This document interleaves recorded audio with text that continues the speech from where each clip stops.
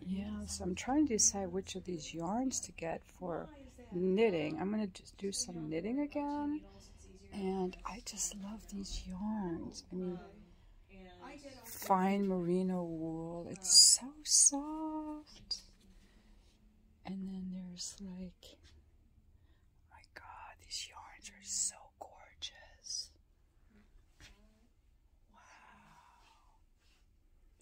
I have to decide which ones I'm going to work with. So many options. Oh my god, this store is so great. I love it. This place is amazing. Look, they have all these fabrics. You keep walking here. Oh my god, this is for cross stitch.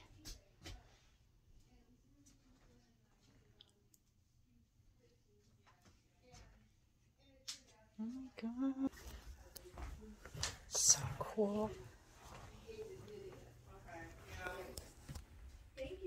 Store so gorgeous. Oh my god.